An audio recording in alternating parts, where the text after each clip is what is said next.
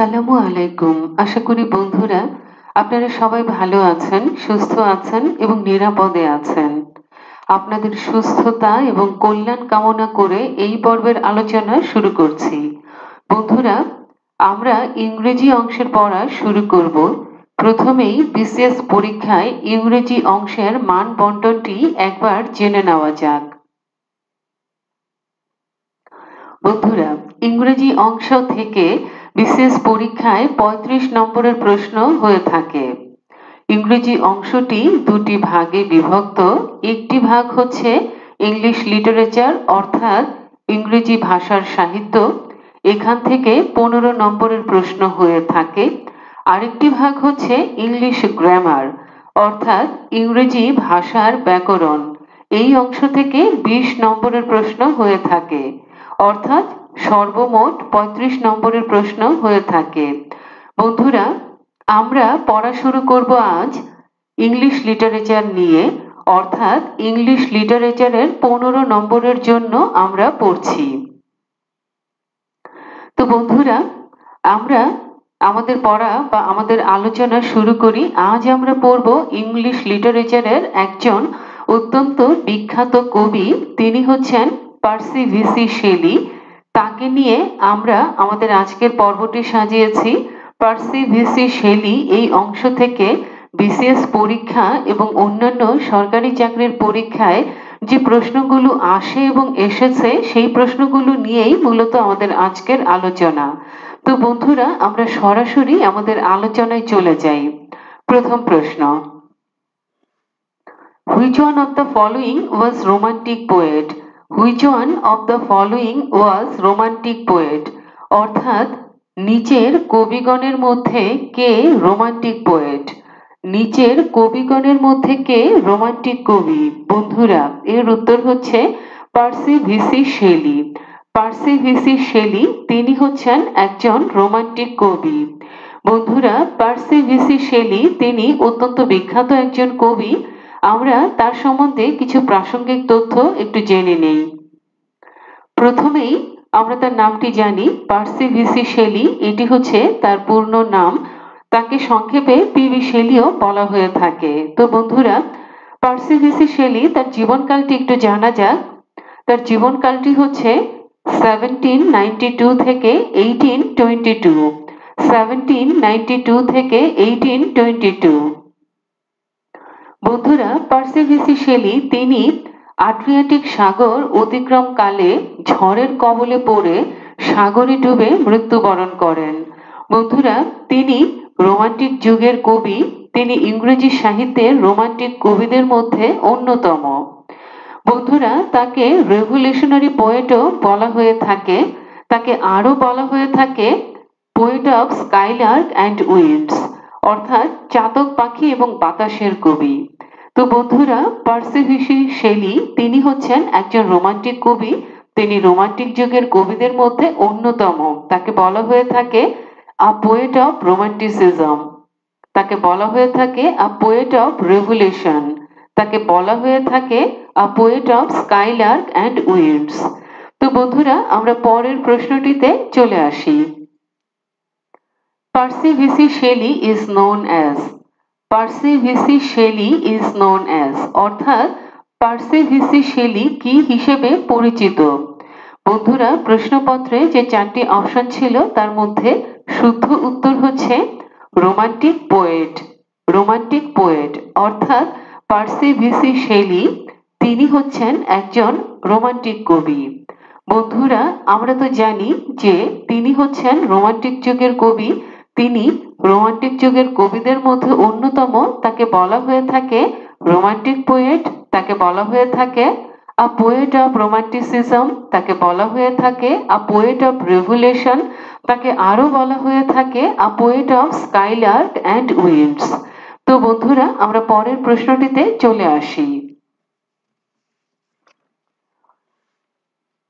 If winter comes can spring be far behind If winter comes, can spring be far behind? These lines are written by অর্থাৎ প্রশ্নটিকে যদি আমরা বাংলায় বোঝার চেষ্টা করি তাহলে দাঁড়ায় যে এটি একটি উক্তি আর এই উক্তিটি কে করেছেন বা এই উক্তিটি কার লেখা?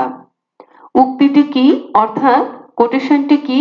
If winter comes can spring be far behind অর্থাৎ যদি শীত আসে, বসন্ত কি তবে দূরে থাকে? যদি শীত আসে, বসন্ত তবে কি দূরে থাকে? এই উক্তিটি কার? অথবা এই উক্তিটি কার লেখা? অথবা কে লিখেছেন? বন্ধুরা, এর উত্তর হচ্ছে Percy Bysshe Shelley. Percy Bysshe Shelley, অর্থাৎ পার্সি ভিসি শেলি তার একটি বিখ্যাত উদ্ধৃতি হচ্ছে if winter comes can spring be far behind যদি শীত আসে, বসন্ত তবে কি দূরে থাকে? বন্ধুরা, এই উদ্ধৃতি বা এই চরণটুকু বা এই পঙ্ক্তিটি পার্সি ভিসি শেলি রচিত বিখ্যাত কবিতা ode to the west wind. এই কবিতা থেকে নেওয়া হয়েছে। Ode to the west wind, এই কবিতা থেকে এই চরণটুকু নেওয়া হয়েছে। বন্ধুরা, আমরা পরের প্রশ্নটিতে চলে আসি। If winter comes can spring be far behind if winter comes can spring be far behind this lines are written by বন্ধুরা, এই প্রশ্নটিকে যদি আমরা বাংলায় বোঝার চেষ্টা করি, তাহলে অর্থটি দাঁড়ায় if winter comes can spring be far behind এই লাইনগুলো কার লেখা? এই পঙ্ক্তিগুলো কার লেখা? এই উদ্ধৃতিগুলো কার? বা এই চরণগুলো কার? বন্ধুরা, এর উত্তর আপনাদের জানা আছে। এর উত্তর হচ্ছে পার্সি ভিসি শেলি তিনি হচ্ছেন একজন রোমান্টিক কবি।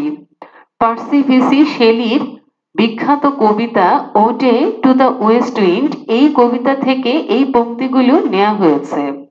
বন্ধুরা, আমরা পরের প্রশ্নটিতে চলে আসি। Ode to the west wind is by. Ode to the west wind is by বন্ধুরা, এই প্রশ্নটিকে যদি আমরা বাংলায় বোঝার চেষ্টা করি, তাহলে দাঁড়ায় ode to the west wind এই কবিতাটি কে লিখেছেন? Ode to the west wind কার লেখা? বন্ধুরা, এর উত্তর হচ্ছে Percy Bysshe Shelley.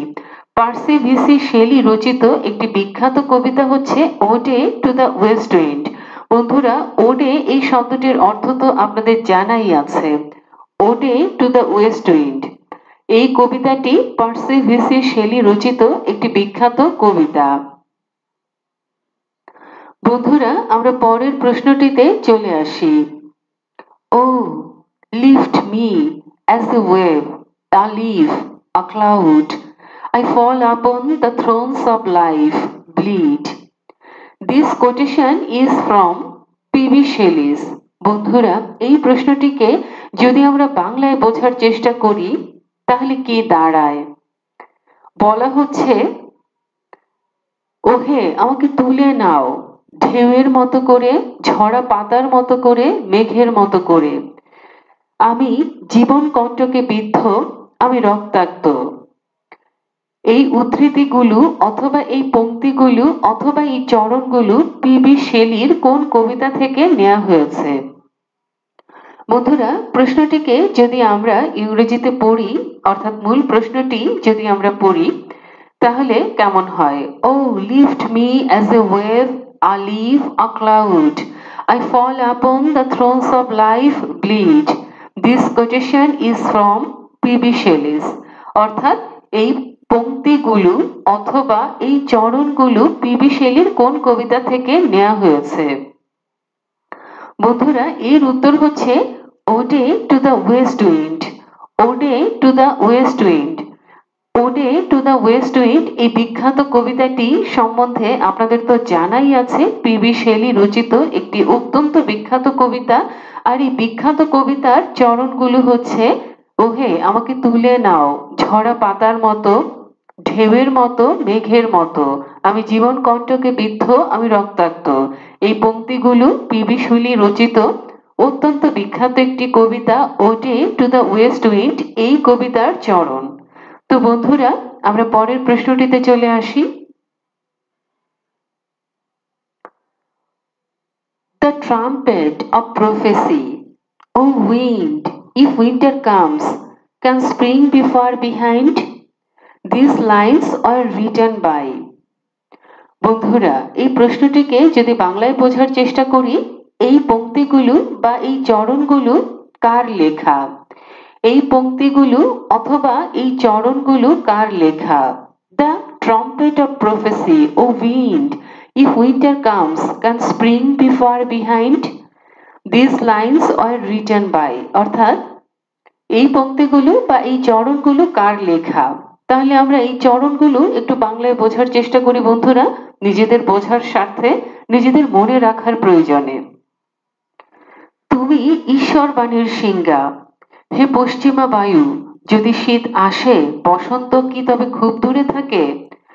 তুমি ঈশ্বর বাণীর Sinha the trumpet of prophecy O wind if winter comes can spring be far behind অর্থাৎ বাংলা যদি আমরা করি, নিজেদের মনে রাখার স্বার্থে বা নিজেদের বোঝার প্রয়োজনে তুমি ঈশ্বরবাণীর সিংহা।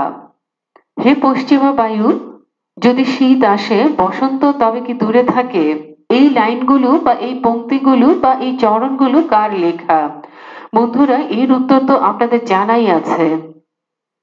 পার্সি ভিসি শেলি, অর্থাৎ পিবি শেলি রচিত বিখ্যাত কবিতা ও ode to the west wind এই কবিতার চরণ। আর আমাদের যে আলোচ্য প্রশ্নটি, কে লিখেছেন? লিখেছেন পার্সি ভিসি শেলি বন্ধুরা, আমরা একটু শব্দগুলোর একটু অর্থ বোঝার চেষ্টা করি বা একটু দেখে নিই। দ্য ট্রাম্পেট ট্রাম্পেট মানে কি? সিঙ্গা প্রফেসি প্রফেসি মানে কি? ভবিষ্যৎবাণী। অর্থাৎ ভবিষ্যৎবাণীর সিঙ্গা তো ভবিষ্যৎবাণীর সিংহা, এখানে বলা হচ্ছে যে তুমি ঈশ্বরবাণীর সিংহা। হে পশ্চিমা বায়ু, যদি শীত আসে, বসন্ত তবে কি খুব দূরে থাকে? এই পঙ্ক্তিগুলো হচ্ছে ode to the west wind এই কবিতার পঙ্ক্তি। Ode to the west wind P B Shelley রচিত, অর্থাৎ পার্সি ভিসি শেলি রচিত, অত্যন্ত বিখ্যাত একটি কবিতা। তো বন্ধুরা, আমরা পরের প্রশ্নটিতে চলে আসি। Who among the following is a revolutionary poet? Who among the following is a revolutionary poet? বন্ধুরা, এখানে বলা হচ্ছে মানে প্রশ্নটিকে যদি আমরা বাংলায় বোঝার চেষ্টা করি, নিচের কবিগণের মধ্যে কে রেভলিউশনারি পোয়েট রেভলিউশনারি পোয়েট বন্ধুরা, এর উত্তর হচ্ছে Percy Bysshe Shelley Percy Bysshe Shelley, তিনি হচ্ছেন একজন রেভুলেশনারি পোয়েট অথবা এ পোয়েট অফ রেভুলেশন বন্ধুরা, আমরা পরের প্রশ্নটিতে চলে যাই। বন্ধুরা, একটি বিষয় তো আপনাদের জানাই আছে যে পার্সি ভিসি শেলি তিনি রোমান্টিক যুগের কবি, তিনি রোমান্টিক যুগের কবিদের মধ্যে অন্যতম। প্রশ্ন আসে যে রোমান্টিক যুগের কবি কে? তিনি হচ্ছেন পার্সি ভিসি শেলি, তাকে কি বলা হয়? আ পোয়েট অফ রোমান্টিসিজম অথবা আর রোমান্টিক পোয়েট তিনি রোমান্টিক যুগের কবি, তিনি রোমান্টিক কবি। তার আরও দুটি উপাধি আছে, আ পোয়েট অফ রেভুলেশন অথবা আর রেভুলেশনারি পোয়েট আরেকটি উপাধি আছে, সেইটি কি? A poet of skylark and winds অর্থাৎ তিনি চাতক পাখি এবং বাতাসেরও কবি। এই তিনটি উপাধি তার রয়েছে, এই তিনটি উপাধিতে তিনি ভূষিত। বন্ধুরা এখানে দ্বিধা বা সংশয়ের কিছু নেই। সবগুলো অপশন কখনোই একসঙ্গে আসে না। কখনো আসে, সবচেয়ে বেশি আসে তিনি romantic poet a poet of romanticism অথবা আর রোমান্টিক পোয়েট তার পরের অবস্থানেই আছে আ পোয়েট অফ রেভুলেশন অথবা আর রেভুলেশনারি পোয়েট তো বন্ধুরা, এই বিষয়টিতে আমাদের আলোচনা করা হয়ে গেল। আমরা পরের প্রশ্নটিতে চলে আসি।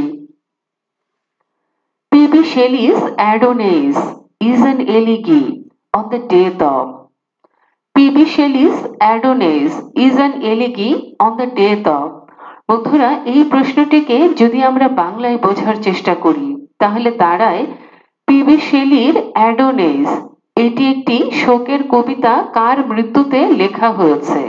এলিগি মানে শোকের কবিতা, শোকের শোক সন্তপ্ত কবিতা, বা শোক গাথা বা শোক সূচক বা বিষাদ গাথা বা বিষাদ সংগীত, যে কোনো ভাবে বলা হোক না কেন, এটি হচ্ছে একটি শোকগাথা। এলিগি মানে শোকগাথা। আমরা সহজ ভাষায় যেটি বুঝি, এলিগি হচ্ছে শোকগাথা বা শোকের কবিতা বা বিষাদ সংগীত বা বিষাদের গাথা।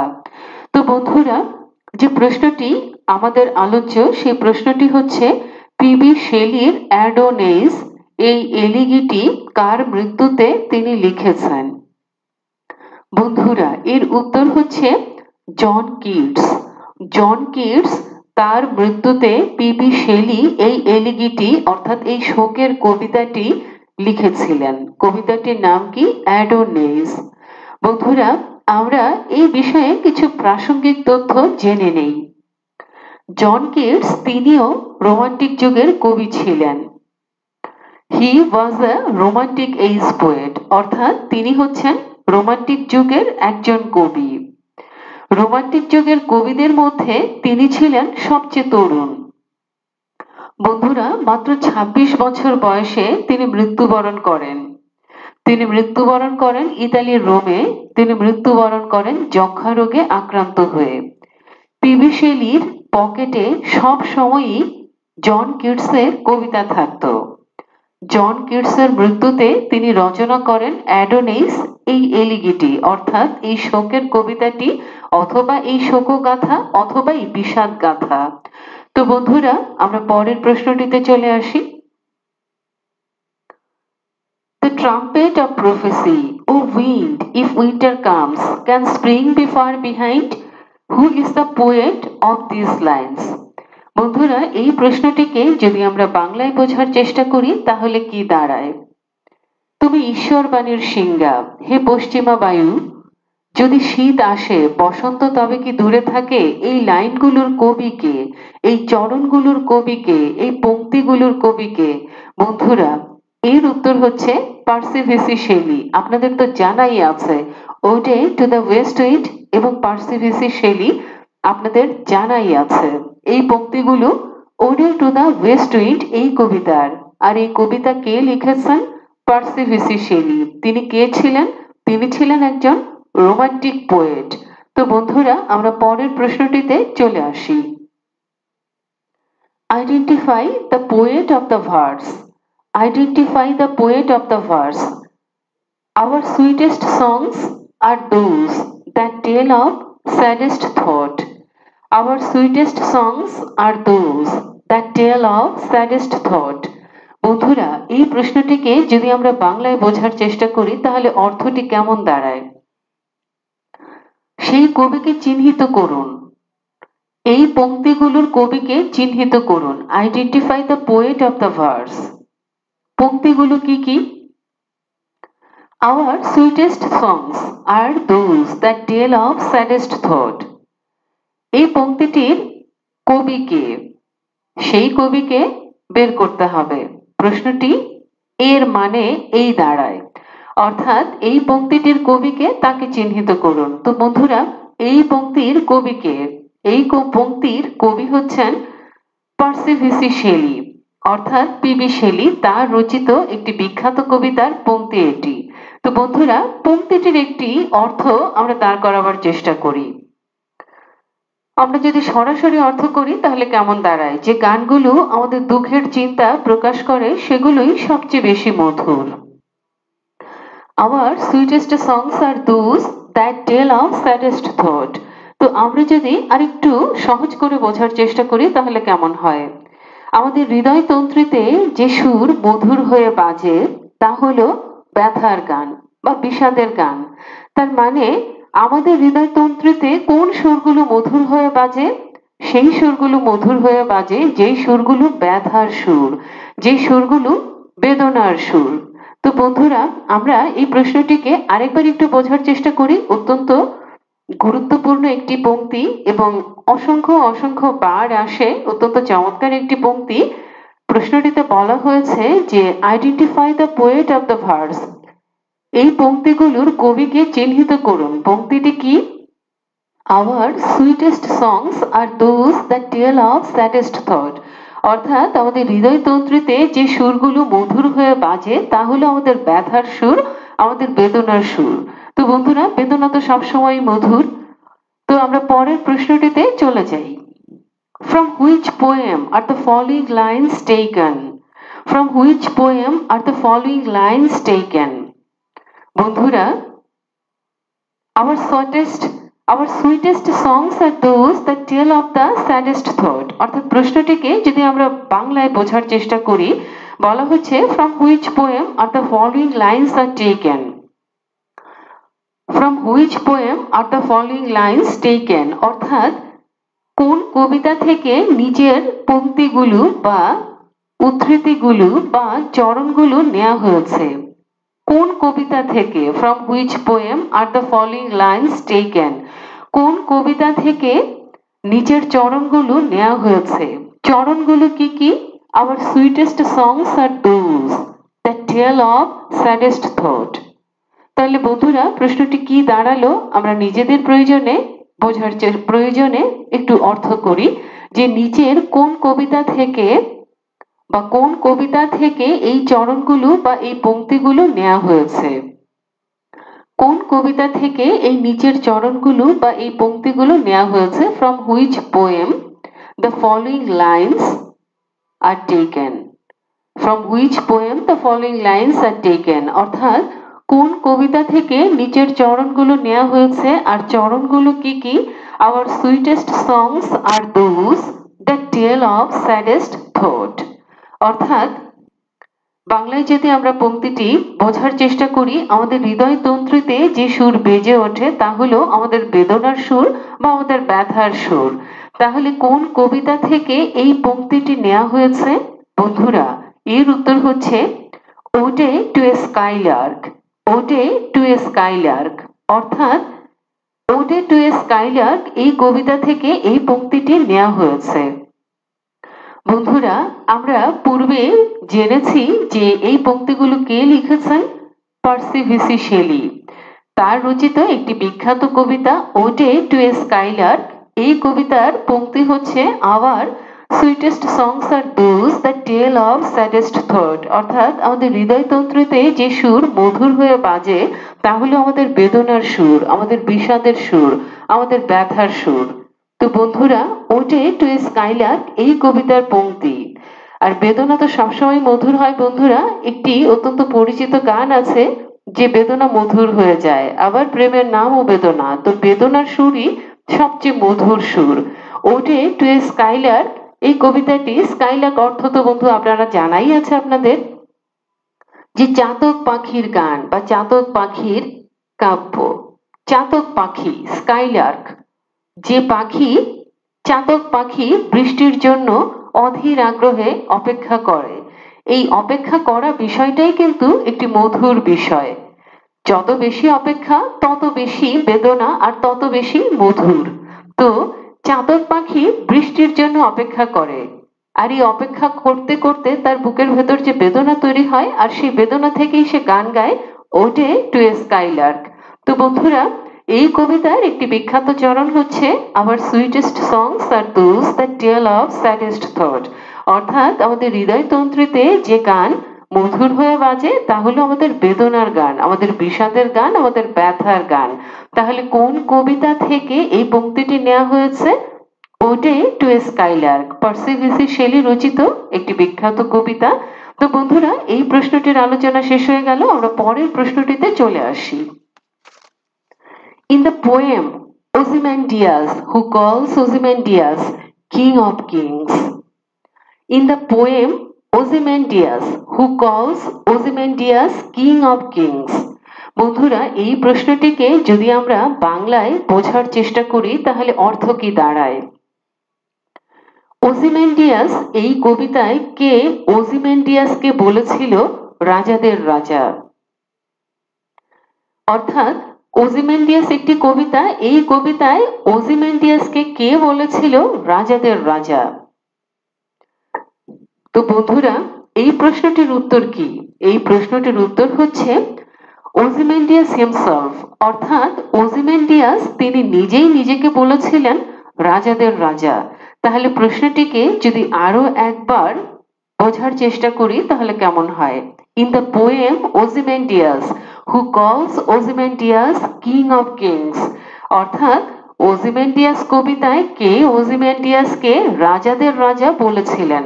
এর উত্তর হচ্ছে ওজিমেন্ডিয়াস হিমসেলফ ওজিমেন্ডিয়াস নিজেই নিজেকে বলেছিলেন রাজাদের রাজা কিং অফ কিংস বন্ধুরা ওজিমেন্ডিয়াস পার্সিভিসি শেলি রচিত অত্যন্ত বিখ্যাত একটি কবিতা।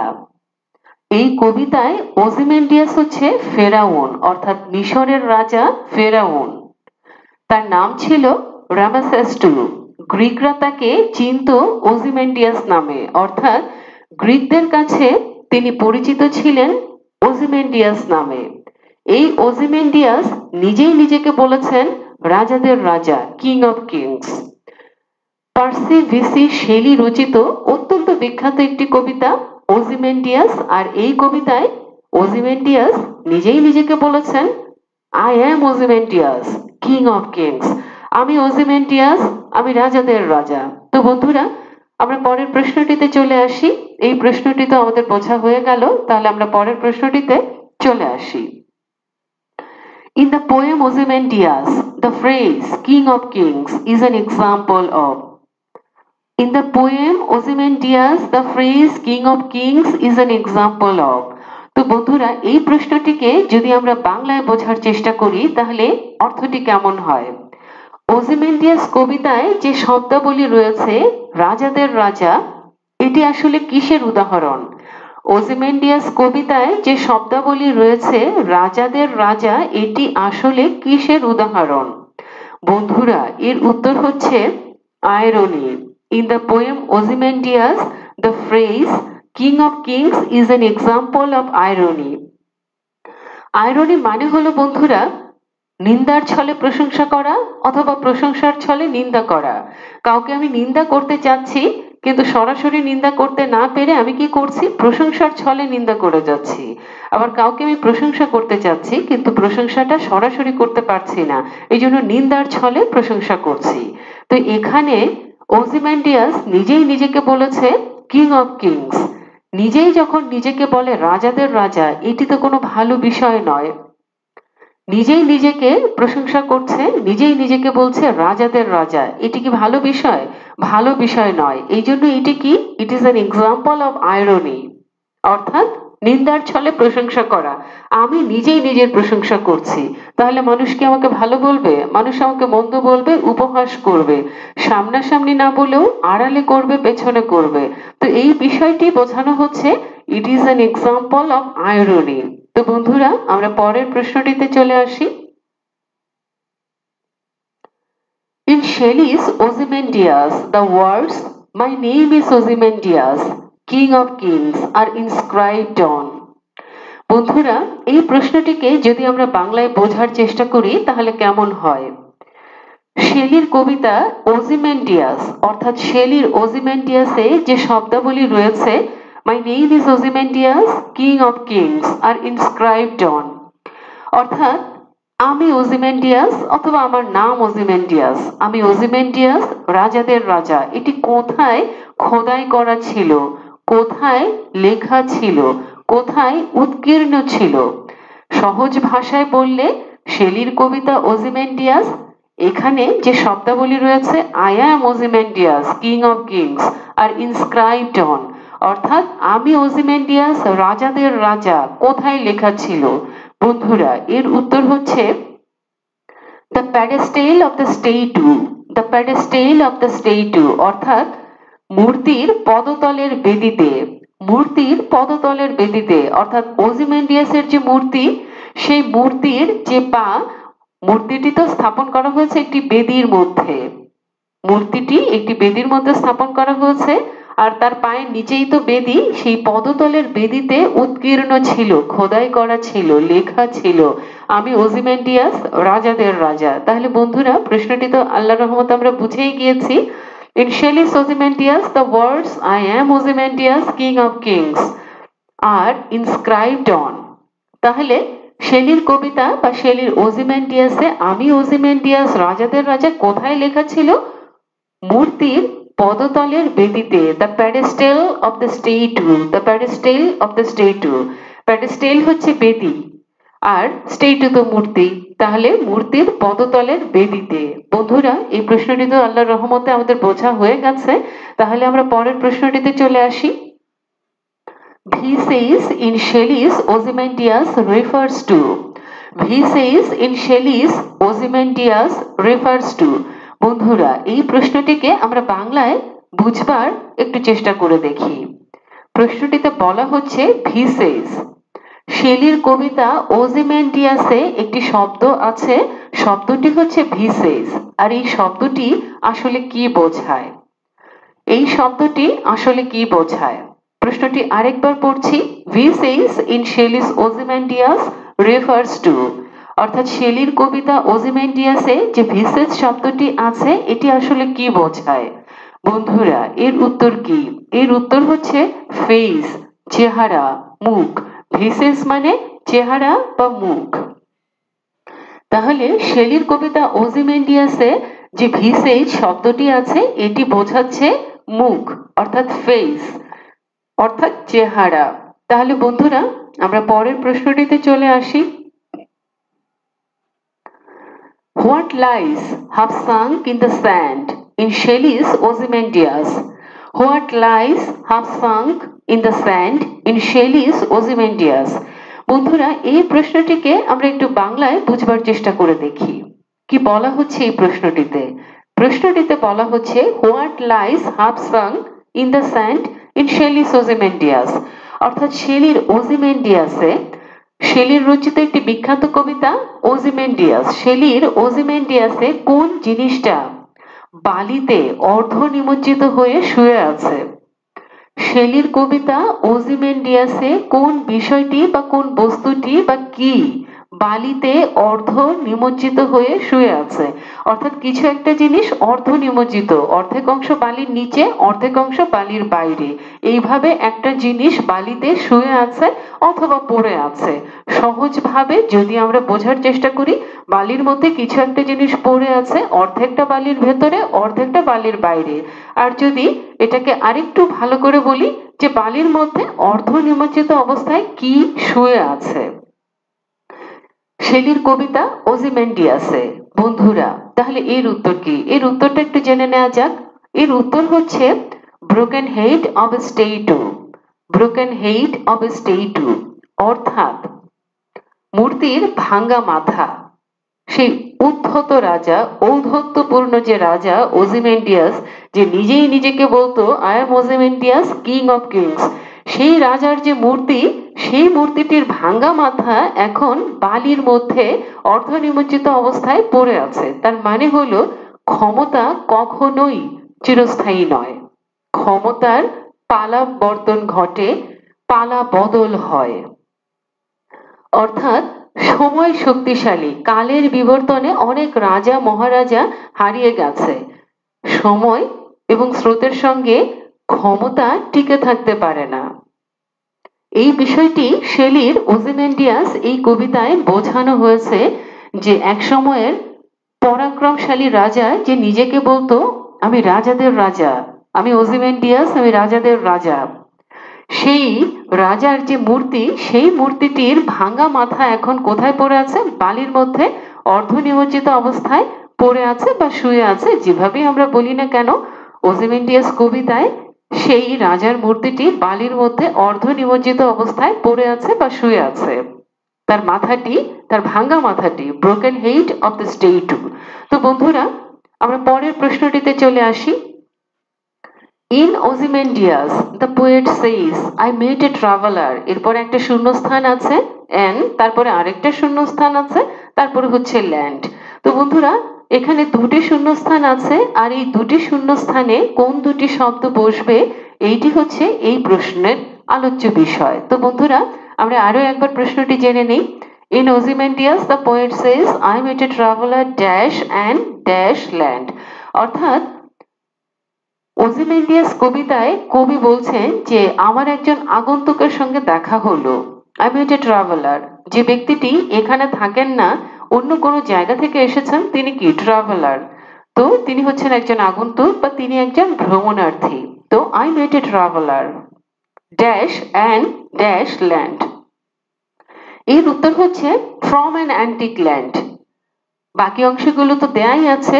শূন্যস্থানে একটি হচ্ছে ফ্রম আরেকটি হচ্ছে অ্যান্টিক অর্থাৎ I met a traveller from an antique land আমার একজন আগন্তুকের সঙ্গে দেখা হলো, আমার একজন ভ্রমণার্থীর সঙ্গে দেখা হলো, আমার একজন পর্যটকের সঙ্গে দেখা হলো। সে পর্যটক কোথা থেকে এসেছেন? পুরা কীর্তির দেশ থেকে এসেছেন ফ্রম অ্যান অ্যান্টিক ল্যান্ড আমরা আমাদের বোঝার স্বার্থে একটি অর্থ করে নিলাম।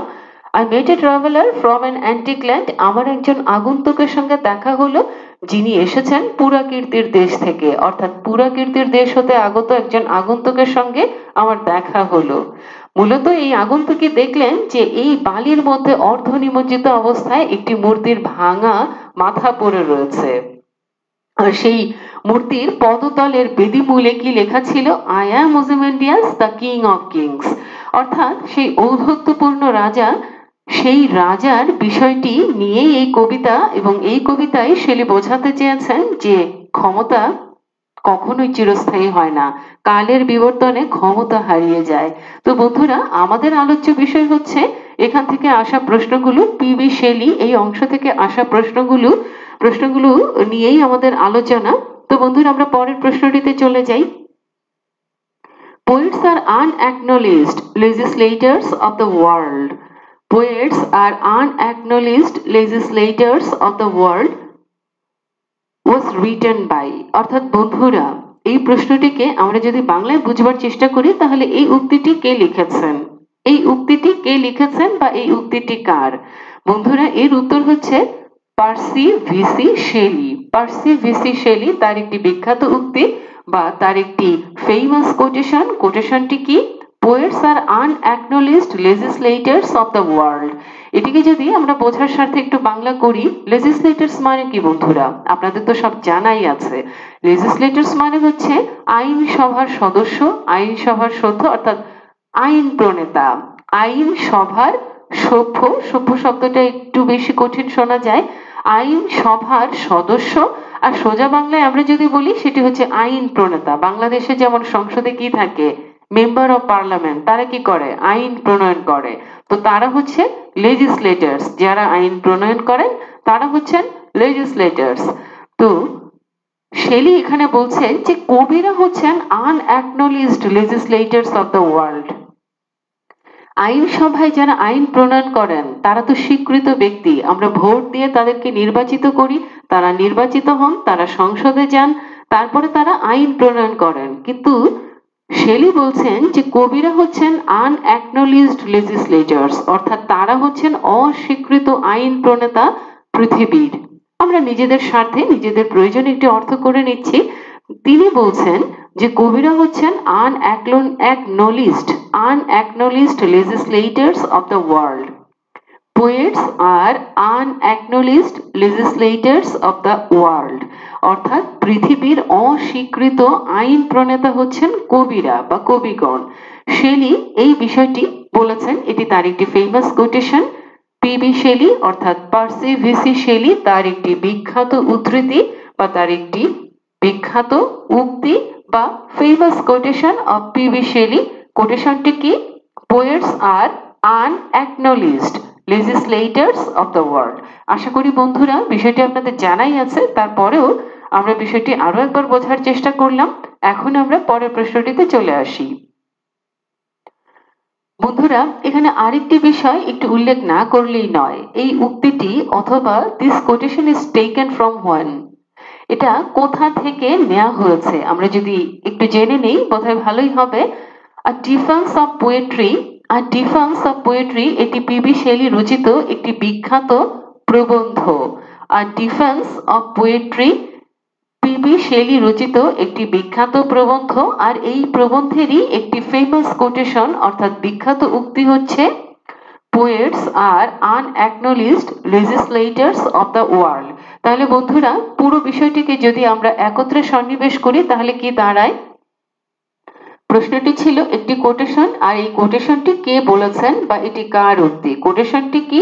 Poets are unacknowledged legislators of the world অর্থাৎ আমরা যদি বুঝে নেই, কবিগণ হচ্ছেন বিশ্বের অস্বীকৃত আইন প্রণেতা। এই উক্তিটি কে করেছেন? PB Shelley Percy Bysshe Shelley এই উক্তিটি তিনি কোথায় করেছেন? তার অত্যন্ত বিখ্যাত একটি প্রবন্ধ। প্রবন্ধটির নাম কি? A defence of poetry a defence of poetry অর্থাৎ a defence of poetry a defence of poetry তো বন্ধুরা আমরা পরের প্রশ্নটিতে চলে আসি The more we study, the more we discover our ignorance. The more we study, the more we discover our ignorance. Who অর্থাৎ was written by whom? Who wrote this অথবা was written by whom? আমরা যদি প্রশ্নটিকে বাংলায় বোঝার চেষ্টা করি, এটি একটি উক্তি, এটি একটি কোটেশন কে লিখেছেন বা কার উক্তি?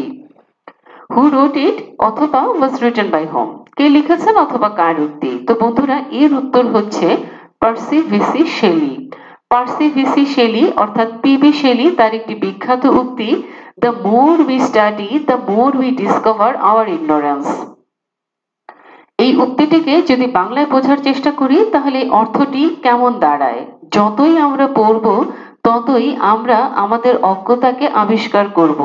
যতই আমরা পড়ব, ততই আমরা আমাদের অজ্ঞতাকে আবিষ্কার করব। The more we study the more we discover our ignorance আশা করি বন্ধুরা, এই বিষয়টিও আমাদের বোঝা হয়ে গেছে। আমরা এবার পরের প্রশ্নটিতে চলে আসি। Fear not the future weep not for the past was written by whom অথবা হু রোট ইট বন্ধুরা, এই প্রশ্নটিকে যদি আমরা বাংলায় বোঝার চেষ্টা করি, তাহলে অর্থটি কেমন দাঁড়ায়? ভবিষ্যতের জন্য ভয় পেও না, অর্থাৎ ভবিষ্যৎকে ভয় পেও না, আর অতীতের জন্য রোদন করো না, অর্থাৎ অতীতের জন্য ক্রন্দন করো না, অর্থাৎ অতীতের জন্য কান্না করো না। ভবিষ্যৎকে ভয় পেও না, আর অতীতের জন্য কেঁদো না। সহজ ভাষায় যদি আমরা বুঝি যে ভবিষ্যৎকে ভয় পেতে না করা হয়েছে, যে ভবিষ্যৎকে ভয় পেও না আর অতীতের জন্য কেঁদো না। তো কে লিখেছেন? এই বিখ্যাত উক্তিটি কার? দ্য ফেমাস কোটেশন বন্ধুরা, এর উত্তর হচ্ছে PB Shelley Percy Bysshe Shelley তার রচিত একটি উক্তি অথবা তার বিখ্যাত উক্তি। তো বন্ধুরা আরও একবার প্রশ্নটিকে পুনরাবৃত্তি করা হচ্ছে। Fear not the future weep not for the past was written by whom এর উত্তর হচ্ছে Percy Bysshe Shelley PB Shelley তার একটি বিখ্যাত কোটেশন হিজ ফেমাস কোটেশন তো বন্ধুরা আমরা পরের প্রশ্নটিতে চলে আসি We look before and after and pine for what is not. We look before and after and pine for what is not.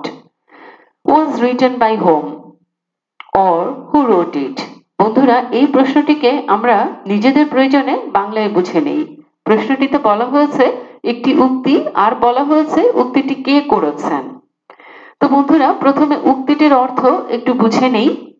বলা হচ্ছে, আমরা অতীত ও ভবিষ্যতের দিকে তাকাই, আর যা হবে না, তার জন্য কষ্ট পাই।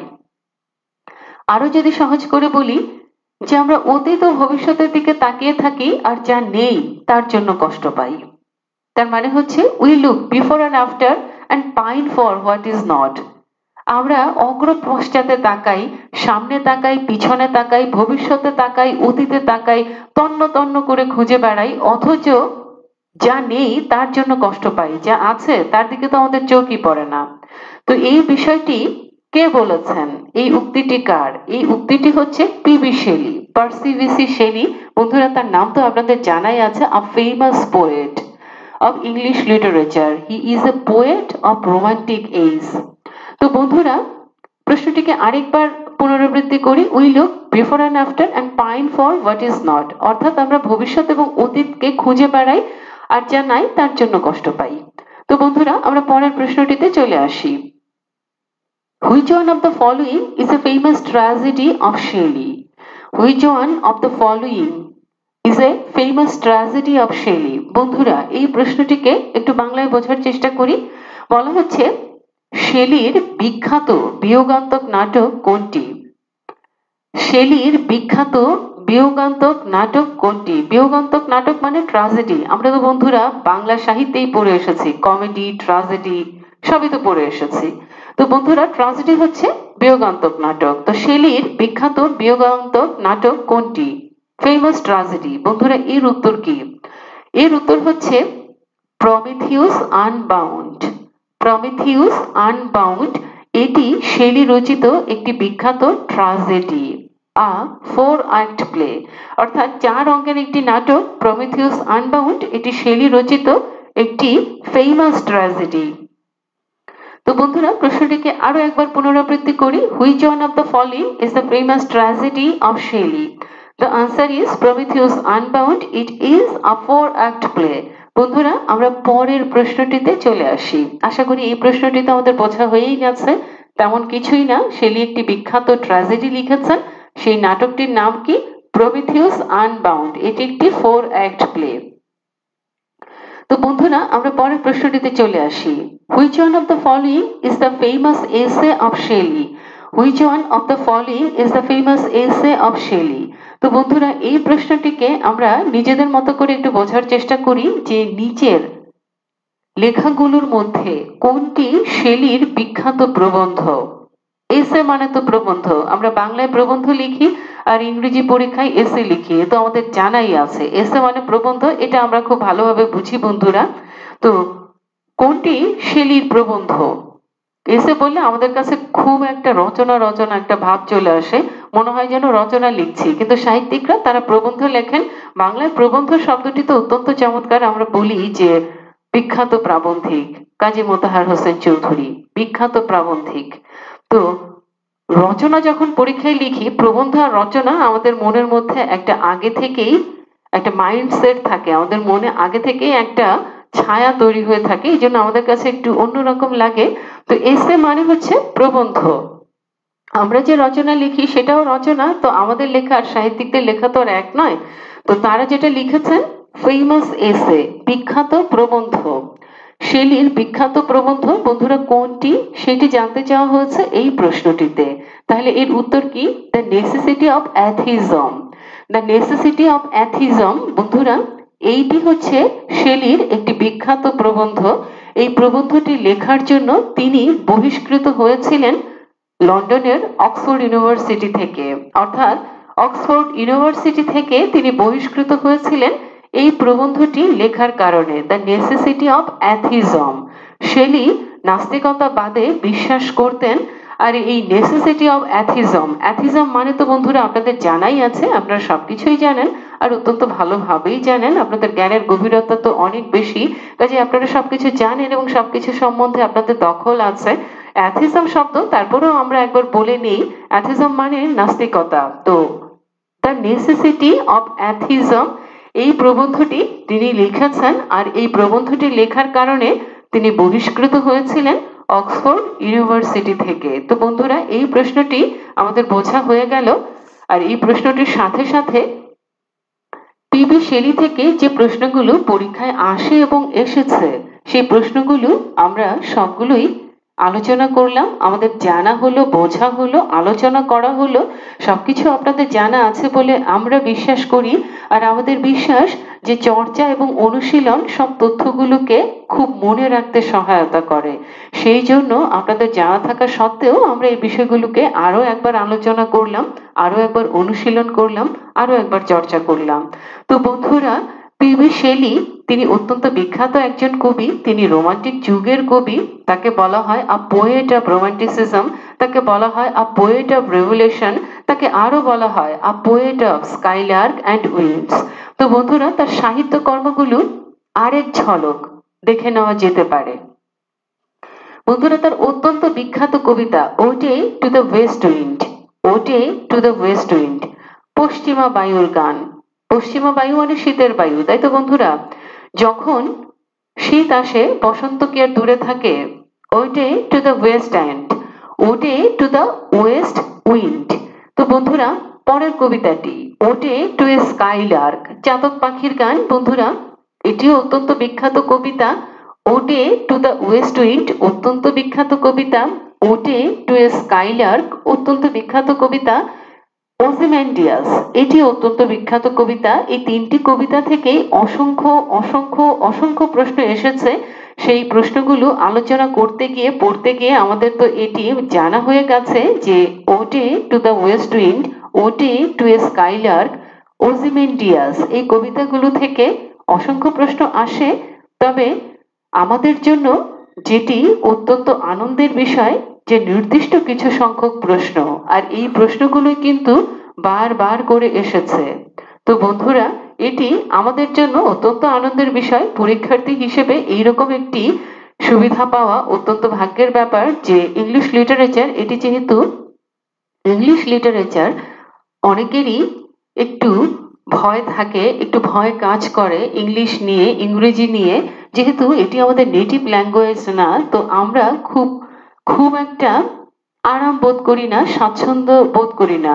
অর্থাৎ we are not comfortable at this language সকলেই না, অনেকে হয়তো অনেক ভালো, আবার অনেকের একটু জড়তা বা দ্বিধা, সংশয়ে, ভয় কাজ করে যে ইংলিশ লিটারেচারের প্রশ্নগুলো আমি পরীক্ষায় উত্তর করতে পারব কি পারব না। তো বন্ধুরা, আমাদের জন্য সুখবর এটি যে নির্দিষ্ট কিছু সংখ্যক প্রশ্ন আর এই প্রশ্নগুলোই বারবার করে আসে। কাজে আপনারা যদি একটু সাহস করে যে প্রশ্নগুলো আলোচনা করা হলো সেইগুলো একটু সাহস করে আয়ত্ত করে নেন। একবার যদি মন দিয়ে বিষয়টি বোঝার চেষ্টা করেন, ইনশাল্লাহ সবকিছুই মনে থাকবে। তো বন্ধুরা, পরের কবিতাগুলো একটু জেনে নিচ্ছি। Ode to liberty when soft voice dies the mask of anarchy আরও তিনটি কবিতা বলা হলো বন্ধুরা।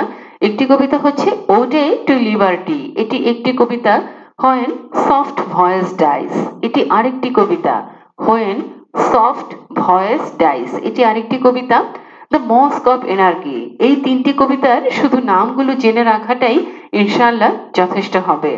তার বিখ্যাত প্রবন্ধ দ্য ফেমাস এসে কি কি আছে বন্ধুরা? ডিফেন্স অফ পোয়েট্রি অত্যন্ত বিখ্যাত এটি থেকে একটি কোটেশন আসে, বন্ধুরা সেটি আমরা পড়েছি আ ডিফেন্স অফ পোয়েট্রি আরেকটি প্রবন্ধ কি? The necessity of atheism the necessity of atheism যেই প্রবন্ধটি লিখার কারণে তিনি অক্সফোর্ড ইউনিভার্সিটি থেকে বহিষ্কৃত হয়েছিলেন। বন্ধুরা, তার আরও একটি বিখ্যাত কবিতা আছে। মনে আছে কি বন্ধুরা? অ্যাডোনেস এটি একটি এলিগি, অর্থাৎ শোকের কবিতা। কার মৃত্যুতে তিনি লিখেছিলেন? জন কিডস জন কিডসের কবিতা সর্বদাই শেলির পকেটে থাকতো। তার মানে তিনি কত ভালোবাসতেন কবি জন কিডসকে বন্ধুরা, অন্য কবিতাগুলি হলো কুইন ম্যাপ এটি অত্যন্ত দীর্ঘ একটি কবিতা, অনেক বড় একটি কবিতা। দ্য স্পিরিট অফ সলিটিউড এটি আরেকটি বিখ্যাত কবিতা দ্য রিভোল্ট অফ ইসলাম এটি আরেকটি বিখ্যাত কবিতা। তাহলে কবিতাগুলো কি কি, বন্ধুরা? অ্যাডোনিস তো একটি এলিগি, অর্থাৎ শোকের কবিতা, আমাদের তো জানাই আছে। কুইন ম্যাপ এটি একটি কবিতা। দ্য স্পিরিট অফ সলিটিউড এটি আরেকটি কবিতা। দ্য রিভোল্ট অফ ইসলাম এটি আরেকটি কবিতা। বন্ধুরা, পিভি শেলি একটি আত্মজীবনী লিখেছিলেন। সেই গ্রন্থটির নাম হচ্ছে আ লাস্টার আ লাস্টার অর্থাৎ এ লাস্টার বন্ধুরা, তার একটি অসমাপ্ত গ্রন্থ আছে। সেই গ্রন্থটির নাম হচ্ছে দ্য ট্রাম্প অর্থাৎ বিজয় গাথা দ্য ট্রাম্প বন্ধুরা তার বিখ্যাত ট্র্যাজেডি এটি তো জানাই আছে আমাদের প্রমিথিউস আনবাউন্ড প্রমিথিউস আনবাউন্ড তার আরও একটি লেখা আছে, সেই গ্রন্থটির নাম হচ্ছে, বা সেই লেখাটির নাম হচ্ছে সেন্সি তো বন্ধুরা পিবি শেলি অত্যন্ত বিখ্যাত একজন কবি, ইংরেজি সাহিত্যের একজন কবি, রোমান্টিক যুগের কবি, আর আমাদের পরীক্ষার জন্য অত্যন্ত গুরুত্বপূর্ণ একজন কবি। তার অংশ থেকে যে প্রশ্নগুলো আলোচনা করা হলো ইনশাল্লাহ এই আলোচনা আপনাদের প্রস্তুতির জন্য যথেষ্ট হবে বলে আমরা বিশ্বাস করি। তো বন্ধুরা, এই পর্বের আলোচনা এখানেই শেষ হয়ে গেল। ইনশাল্লাহ এই আলোচনা আপনাদের প্রস্তুতিতে সহায়ক ভূমিকা পালন করবে এবং ইনশাল্লাহ আপনারা এই চ্যানেলটিকে সাবস্ক্রাইব করে দিবেন এবং বেল আইকনটিকে প্রেস করে দিবেন, যাতে করে আমরা সব সময়ই আপনাদের পাশে থাকতে পারি, আপনাদের সহযোদ্ধা হয়ে। আর নতুন কোনো আলোচনা আর নতুন কোনো তথ্য যেন অতি দ্রুত আপনারা পেয়ে যেতে পারেন আপনাদের প্রস্তুতি গ্রহণ করবার জন্য, যাতে এটি সহায়ক ভূমিকা পালন করতে পারে। তো বন্ধুরা, আবারও আপনাদের সুস্থতা কামনা করছি, কল্যাণ কামনা করছি, নিরাপত্তা কামনা করছি এবং সর্বোপরি আপনাদের সফলতার জন্য দোয়া করছি। আপনারা সফল হবেন তবেই তো আমাদের সার্থকতা। আপনারা সফল হবেন, তবেই তো আমাদের স্বপ্ন পূরণ হবে। কাজী, আপনারা সফল হন সফল হন সফল হন। এই দোয়া করে এই পর্ব থেকে বিদায় নিচ্ছি। আসসালামু আলাইকুম। আল্লাহ হাফিজ।